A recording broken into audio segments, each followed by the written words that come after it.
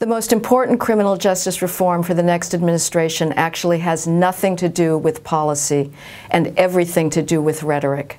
We have to stop the false narrative that the police are endemically racist and that we're living through an epidemic of racially biased police shootings of blacks.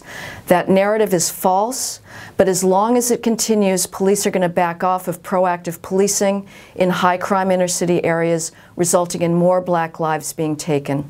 Policing is above all a local phenomenon. The feds have very little to do with it, but there is an important federal bully pulpit.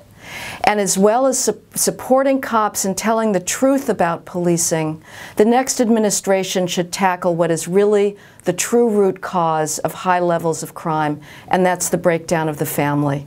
We need to start talking about the importance of fathers to young males growing up and the need that young males have for a, a good source of authority. Without that, we're going to see more crime and more lives lost.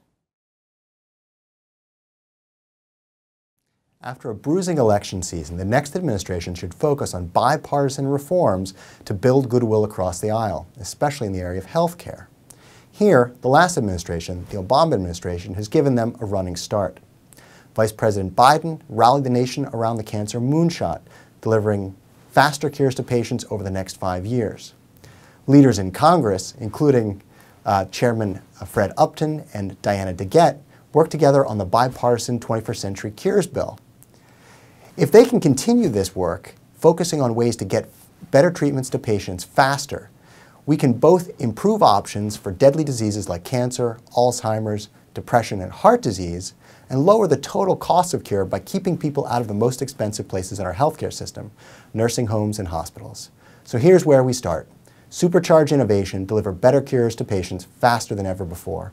That's the best way this administration can build bridges and work to tackle our most pressing challenges. So there's one idea in the higher ed space that has seen support on both sides of the aisle, and that's this notion of simplification in the process of federal financial aid. So right now, when students engage with federal financial aid, they have to complete a very lengthy and, and unnecessarily complex financial aid application. Once they get through that, they're facing a menu of different types of programs and subsidies to participate in, different types of loans, Pell Grants, and tax benefits. This menu of options makes it difficult for students to know whether or not college is affordable to them. And on the back end, we've got unnecessarily unnecessary complexity as well. So we've got a set of different repayment programs, um, all of which cobble together and make it difficult for students to navigate the system and take advantage of the safety nets that are available to them. So what I'd like to see is a single grant a single loan and a single repayment system that makes it easy for students to navigate the system and ensure that particularly low-income students have access to higher education.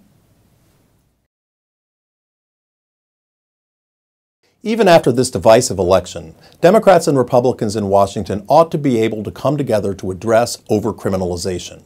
What is overcriminalization? We're really talking about the size and complexity of the federal criminal law.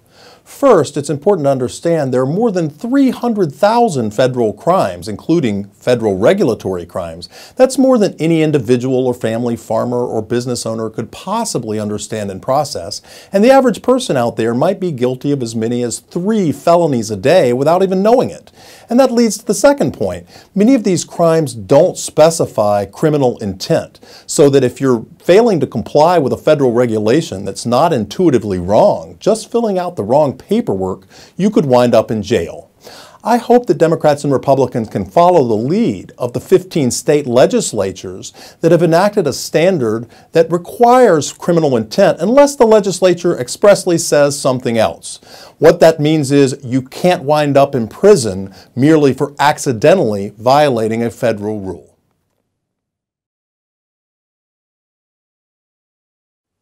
Everybody wants less skilled workers to be earning more money. The question is how to do it. One option is a wage subsidy. If somebody is only earning $8 an hour, but the government also puts $2 an hour into their paycheck, then they get to take home $10 an hour for their family, and they're more likely to work in the job in the first place. In some ways it's like raising the minimum wage, but if you raise the minimum wage, the employer has to pay the additional amount, and that's going to lead to less hiring in general. If you use a wage subsidy, it's the government that spends the extra money. And there's actually a lot of money available to spend. There are so many anti-poverty programs that add up to more than a trillion dollars of spending each year, and a lot of them do very little. If we take some of that money and move it toward a wage subsidy, we'll encourage more people to work, we'll give less skilled workers more money for their families, and we'll end up doing a much better job fighting poverty. That's something Democrats and Republicans should be able to agree on.